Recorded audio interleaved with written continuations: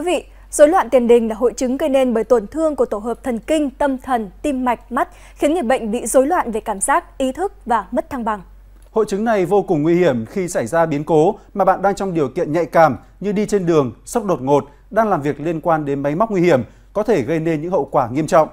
Vì vậy, chúng ta cần sớm nhận biết những dấu hiệu của rối loạn tiền đình để có những phương pháp điều chỉnh kịp thời. Chuyên mục Vì sức khỏe mỗi ngày hôm nay sẽ giúp bạn ngay sau đây. một Chóng mặt đây là dấu hiệu đầu tiên mà bạn cảm thấy khi mắc phải hội chứng này. Ban đầu là thoáng qua, sau đó mức độ nặng dần với tần suất tăng dần. Bạn sẽ có ảo giác về sự vận động xung quanh, sự di chuyển của các vật thể, cảm giác xoay tròn, bập bềnh.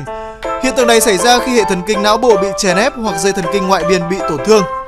2. Mất thăng bằng Cơ thể mất sự cân bằng khiến bạn không thể đứng vững, lâng lâng không xác định trọng lượng như người bị say rượu.